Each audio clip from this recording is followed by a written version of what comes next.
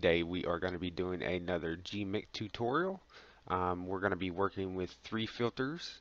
There was going to be four, but I'm going to keep this one uh, sort of kind of short. And uh, the fourth filter um, I want to make something cool with, so that should be the next tutorial uh, on GMIC. Um, I got asked to do uh, another filter in GMIC and another couple filters and uh, I might branch away from the artistic filters um, on the next tutorial or the next one after that and do those for the person that asked. So look forward to that. Um, this is the Kuwahara filter. I'm probably not pronouncing that right but um, just kind of adds this cool effect to it. And then we got the, the graphic novel filter that we're going to be doing and then we got the graphic boost filter and this is the normal image of this lion cub. So we'll go back through it. Here's normal then here's with graphic boost then here's with graphic novel and then here's with the Kuwahara. So they are the graphic novel and graphic boost um, they are a little bit complicated. Um, that's another thing that I wanted to talk about. So I'm going to come back over here to the internet browser and um, this is the GMIC reference sheet that they have. And if you haven't looked too much into GMIC, um, you will know that all the filters are based off of um, algorithms uh, really complex mathematical algorithms. And a lot of a lot of the names I don't think the programmers think about it for the artist. And um, I mean I'm not talking bad about them or nothing but if you've ever worked in any kind of uh, design place or anything like that where you have your own um, programmers and stuff like that programmers do not think like artists. They think like programmers. So they name the um, controls and stuff like programmers, not for the artist. So sometimes they are hard to understand what they mean, and because, um, like I said, they're programmers, they're not artists. Um, and I mean, I guess they are artists in their own right because programming can be an art, and it is a different language. So, and it's most of them are pretty complex to learn. But anyways, um, if you go to gmic.sourceforge.net um, slash gmic underscore reference dot pdf you will pull this up and you could do a little bit more research on gmic and stuff but as you can tell here's some algorithms here and all that kind of stuff. I just wanted to to bring this up um, to let you guys know that um, I try to explain these filters to the best of my knowledge and the way I understand them because I have gotten a couple of complaints that I wasn't explaining them right but I'm going to come out and say it I am an artist and I'm just gonna uh, I'm just saying what I think they mean. I'm not going to go into all this algorithms and all this other kind of stuff to try to explain these filters because to be honest it's pretty complex and I'm trying to explain it for artists. Alright, so I'm going to get off my rant real quick and then we're to go back into GIMP. And we are to go ahead and just go up to file and we will open up this lion again and we will go into GMIC so we're going to go to filters and then GMIC and if you got the new GMIC, there should be a maximize button. Just click on maximize. And I'm going to go ahead and pull this lion's face up here. And we're going to go into graphic boost. Just like that. And I'm going to reset this real quick. Alrighty, so graphic boost. Um, it's meant to boost your image's details, uh, but it boosts it boosts them uh, quite a bit. So it gives it this kind of a unrealistic paint effect, and I guess that's what the person was going for but you got your unsharp mask controls and basically uh, what an unsharp mask is is basically a mask with a blur on it so that's basically what a unsharp mask is so you got your uh, your radius which um, takes the length of the uh, the unsharp mask uh, from its center to its parameter. So from the center to the outside of it. So the higher you go in radius the more of an effect that will have. And then you got your darken which will take through this algorithm and it will darken all them areas inside of the unsharp mask so we're going to turn that back down. We're going to turn the darken back down too because we won't go too dark with it. Then you got this skip other steps. You could tick on that if you don't want to use an unsharp mask. And then you got your uh, BW pencil controls, which is basically what it sounds like. It's uh, adding a pencil like detail to your image. So your pencil size is how big the pencil effect is. And then you got your pencil amplitude, which basically just amplifies the pencil-like effect. And they got another skip others step here. And you could tick on this. We'll just tick on it and you'll see what I'm talking about. It skips all other steps. So you could do something cool with that if you'd like. And but for this purposes, we're going to go ahead and leave it unchecked for now.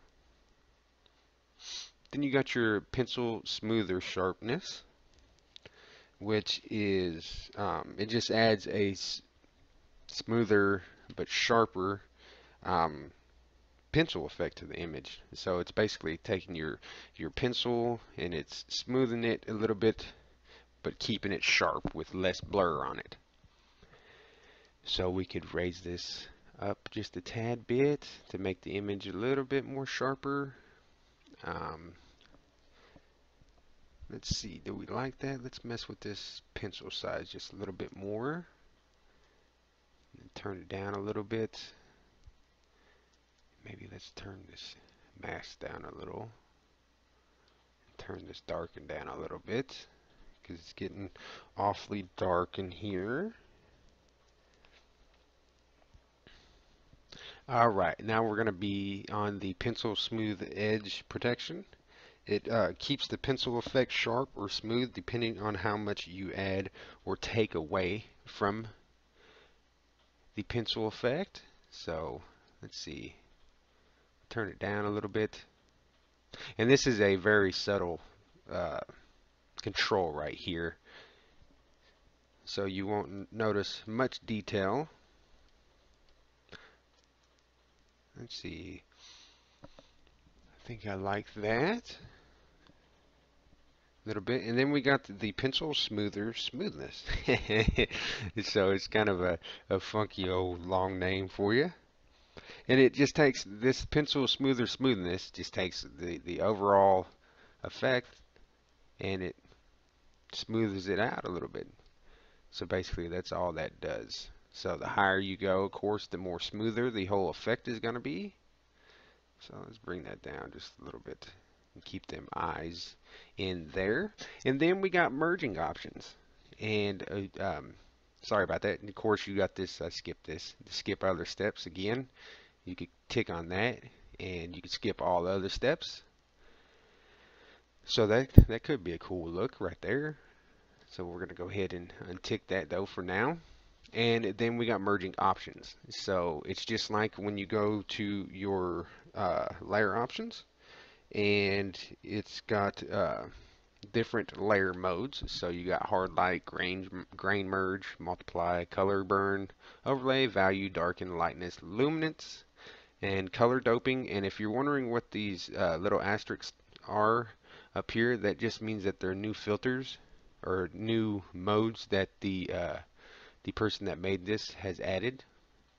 Then you got comics colors, graphic colors, graphic graphics, graphic and graphics colors, vivid edges, dark edges, dark screen, vivid screen, and interpolate. So we could just run through a couple of them here so you can see the different effects that it has. got color burn. That makes it look funky. Overlay. Makes it look a little bit brighter. Let's go down here. Let's see this color doping. Turns it black and white. Vivid edges. But we'll leave it back on hard light for now. So you could just go through there and play with that. Alright, now we got the opacity. Of course, the opacity is, you know, how opaque the effect is. So how much the effect shines through onto the image. So less means less of an effect to the image, and more means, uh, if you go all the way to 1, that means that it's full opaque.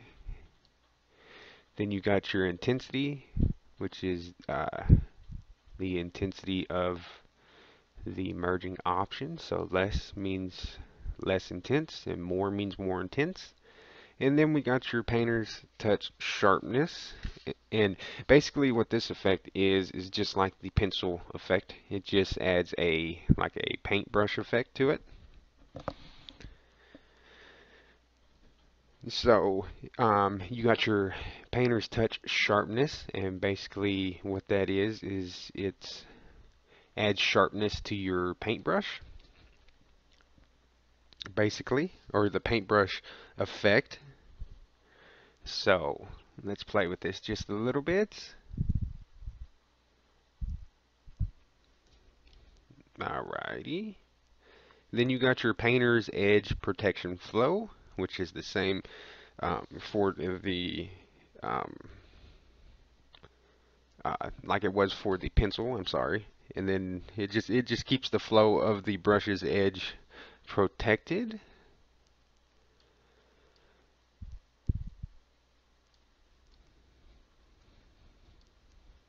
so we'll just play with that and see if kind of effect we could get going here and then you got the smoothness of, or the painter smoothness, so it's uh, the smoothness of the whole effect in whole. So let's go ahead and play with that just a little bit and see what we like.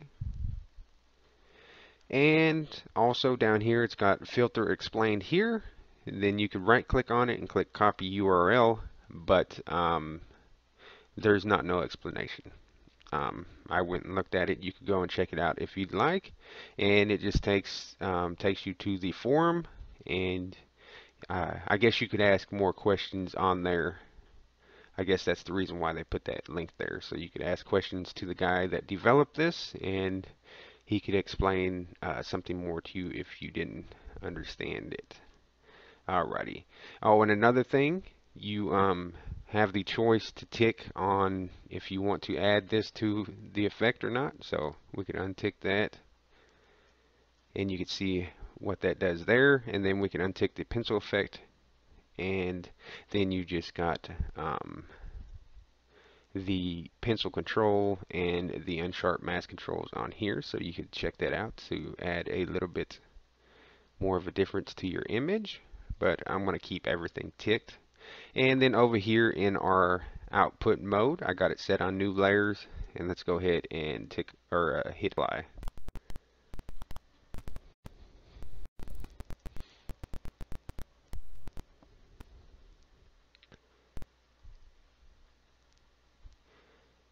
Alrighty, and let's go ahead and hit cancel and get out of there. And so you can see here is our graphic boost. So the original and with the graphic boost. So I mean, I guess it, it did boost the uh, graphics on here. But like I was saying, it's kind of a overpowering effect. You could always go in here and play with the blending modes and stuff like that to see um, if you can't get something a little bit better and it just makes your image pop a little bit more if you'd like but we'll keep that on normal for now and then let's go ahead and just turn the um, graphic boost off here and then we're going to go into filters GMIC and we're going to go to graphic novel and we're going to hit maximize And I'm going to go ahead and bring his face in here. Now, the graphic novel and graphic boost is made by the same person. Uh, the these effects are quite similar. Uh, they got a little bit difference, but uh, to me they are quite sim similar. So we got the um, graphic novel here, and we got the applied local normalization. And local normalization, it um, it tends to uniformize the mean and variance of an image around a local neighborhood. This is especially useful for correct non-uniform illumination or shading artifacts. So that's what local normalization means. So we got the local normalization controls. So we got LN, which is short for local normalization, amplitude. So it just, um, the amplitude, it, if we move this up, it just amplifies the local normalization of the image. So as you can tell, the higher you turn that up, the more crazier the image starts to look. Um, so, but we'll keep that quite low. Then you got your local normalization size, and it's just the size of the local normalization. So Let's turn this up. The higher you go, the more the effect has. So let's uh, keep it around about uh, 8.25 should be fine. So like I said, this uh, local normalization is um, it's especially it's useful for correct non-uniform illumination.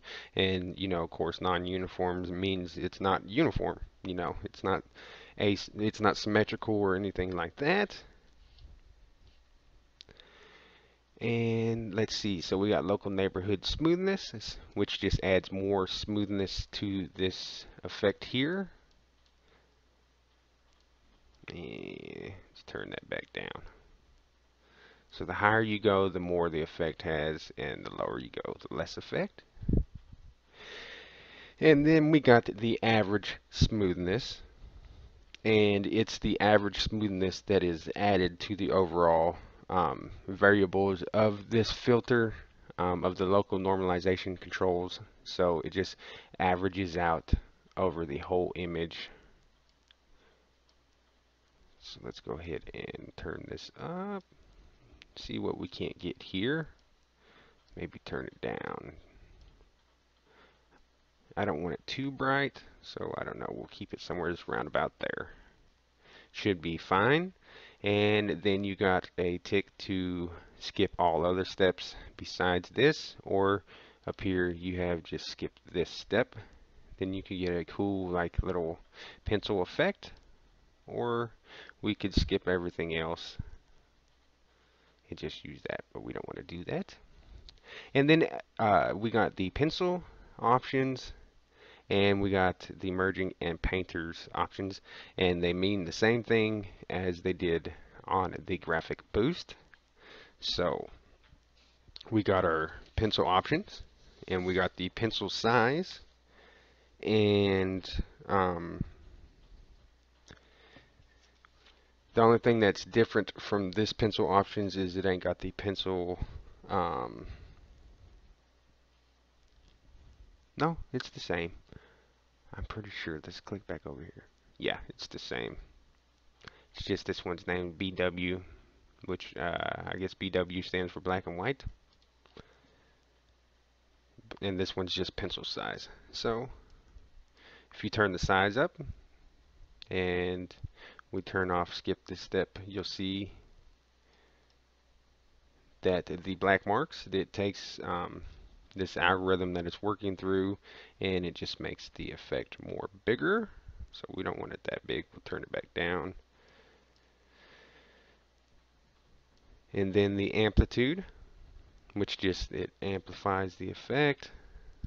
Let's uh, keep that, turn that up just a little bit, and let's turn this back on here. And then we got the pencil smoother sharpness, which means the same thing from the other filter. So the pencil smoother sharpness, it just uh, adds a smoother sharpness to the pencil effect from above, so up here. So we just play with this a little bit put it back on. Point E six nine, and then we got the pencil smoother edge protection, which it keeps the pencil effect sharp or smooth depending on how much you add or take away. So we turn this up. Let's go to about right there. And then we got the pencil smoother smoothness. And that just takes the overall effect and smooths it out. That should be fine right there. Now we got um, our overlay mode. This one's called Boost Merging Options. And so we could just play with these here. Let's try dark edges. I like that. And then we got our opacity, which bring that down, the less opacity the image has, turn it up, it's full opaque.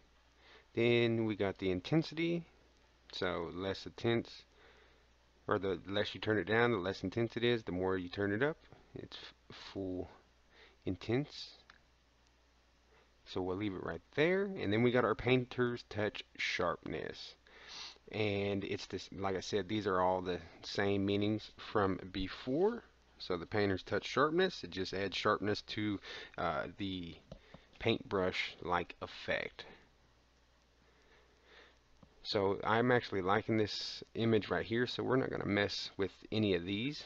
I'll just go the painter's edge protection flow is um, it keeps the flow of the brush's edge protected so it's basically the same. And then the painter's smoothness is the smoothness of the whole uh, overall effect here.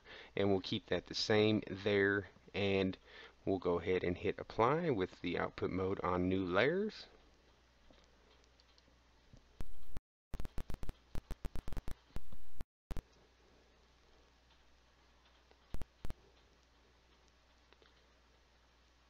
Alrighty, it is done, so we'll go ahead and get out of there, and you can look and see how the effect is. So this is the original, and this is the graphic novel filter. And then we got our graphic boost, graphic novel, boost, novel. So they're pretty cool filters. You could uh, mess with them and play around with them. We'll go back into filters and then GMIC. And the next one down is the graph or the Hope poster. And that is the uh, filter that I said that I was gonna um, skip over this time because I want to make something cool out of this and obviously this image here don't work with this so we're just going to skip this one for now and we will come back to it we're going to go down to the Kuwahara filter and I'm not too sure what uh, this means or this filter means exactly. Uh, I guess I could always have looked it up and I do apologize. I was more um, worried about getting into what the graphic boost and graphic novel, um, what they meant. The Kuwahara, basically, as you can tell, it just adds a kind of effect. It looks like it's uh, like a smudge effect, and it's just going through the whole image, and it's smudging little iter uh, iterations of the image as it says you got iterations so basically we touched on this before the more iterations you have means the more times that it will go through the um, back-end code of this filter and uh, the more times that it will add this effect to your image. So there's only two here. There's iterations and radius. So we turn the iterations up. That means the more times that it will work through the coding and add this to your filter. So we'll go ahead and leave that back down. I don't like it way up there. And maybe turn it down some more. Back down to 2 like it was.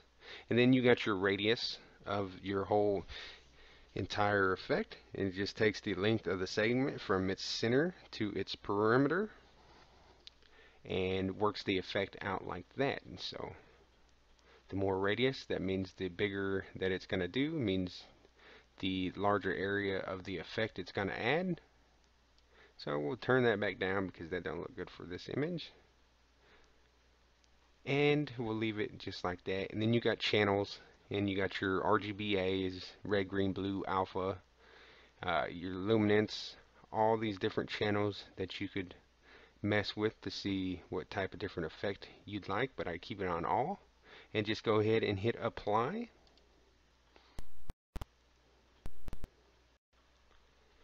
And then that is done and then we'll go see how this effect looks. So this is the original and this is how the effect looks on this image. So that's pretty much it for this GMIC uh, these three GMIC filters. So we'll just go ahead and start from the beginning. Here's the original and then the GIMP boost GIMP or uh, GIMP boost, I'm sorry, the graphic boost, then the graphic novel, and then the Kuwahara filter. So, I hope I explained those a little bit better to you. Like I said, uh, if you want to know more about GMIC and stuff, you could go to gmic.sourceforge.net slash gmic underscore reference dot pdf just type that into your browser and it will pull this up and you could read a little bit more into the back end on this stuff. They got some tutorials and stuff on here. Another tutorial. Um, so, but this just goes into a lot of mathematical formulas and and all kinds of stuff like that. So if you guys are into that and want to learn a little bit more, look this up. And it looks like they got a tutorial page. And I guess that one don't, no longer works. But like I said, just check this out if you want to read up a little bit more. It looks like a high pass filter right there.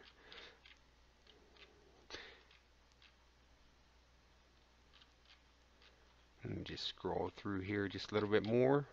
But besides that that's pretty much it. So we'll go back into GIMP and have a look at it. And I do apologize if the explanations if you didn't quite get them um, like I said a lot of these there's a lot of these filters are based on a lot of formulas mathematical formulas and stuff like that. And they get to be a little bit complex and I try to explain them for an artist and and I have I do watch my tutorials back and sometimes they don't come out like I'd like them to come out and I do apologize about that. Um, the best thing I could say is take some of the knowledge that that I try to um, give you guys through these filters and just experiment. Um, if after we make it through all these filters, I know it's been taking a little while, but after we make it through all these filters, um, I'm going to try to go into more in depth on making some more cool images and stuff on them. And I will make cool images on some of the filters, why we go through them. Um, it just depends. On these ones, I just wanted to give more of an exp explanation and then we'll go back to that hope filter and hopefully make something cool out of that. So this is it for now. Please like and subscribe for tons more tutorials and have a great day.